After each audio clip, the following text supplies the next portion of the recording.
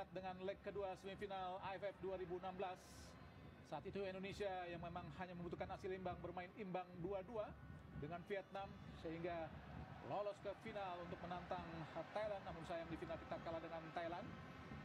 Saat itu leg pertama di Pekansari kita menang 2-1 dan di semifinal kedua di Midin Stadium kita bermain imbang 2-2 lewat gol Stefano Lillipali dan juga Manahati Lestusen lewat tendangan penalti. Saat itu pemain belakang Vietnam saat itu ya Kei Ngoc Hai yang bertindak sebagai pemain belakang menggantikan Nguyen Tran Man yang bermain sebagai penjaga gawang karena mendapatkan kartu merah Tran Man. Kotak pindah kita Ferdinand. Lalu lemah tadi umpan Ferdinand. Langgaran kita lihat Yusuke Araki dari Jepang, wasit yang memang terkenal sangat kejam. Dari 10 tahun pengalaman yang memimpin pertandingan dengan 266 pertandingan, telah banyak mengeluarkan kartu merah, Bung Doni. Ya betul dan ini tentunya juga merupakan sebuah peringatan tentunya untuk kedua tim, kedua negara. Bagaimana tentunya akan disorot pelanggaran-pelanggaran tidak perlu.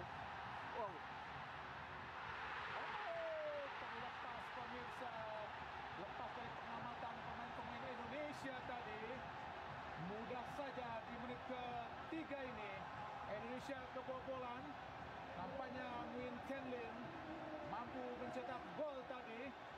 Chen memang sangat sering mencetak gol ke gawang Indonesia dan juga ke gawang Nadio Argawinata seperti di SEA Games 2019 di Manila saat itu ialah pelatih Sintayong. Nampaknya kecolongan Indonesia dari serangan balik yang dilakukan Vietnam dan umpan langsung ke Tianlin tadi, Bung Doni. Ya, kita nanti pasti akan melihat hasil ulangannya, Bung Ahai. Tapi yang jelas memang kalau kita lihat ini adalah striker tajam yang dimiliki oleh timnas Vietnam. Ini adalah gol keempat dia. Dan yang menarik adalah dia juga mempunyai shot on target ke-6 tapi dia sudah menciptakan gol sebanyak empat kali.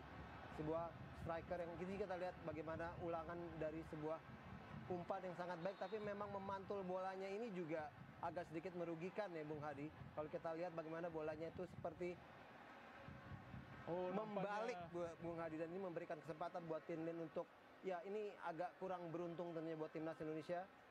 Penjagaan yang kurang maksimal dari Rizky Ridho dan juga Jordi Amat membuat sangat bebas tadi Tianlin untuk bergerak dan tidak offset memang. Betul. Umpan yang sangat baik pada Tianlin dan tidak rapat penjagaan dari Rizky Ridho dan juga Jordi Amat.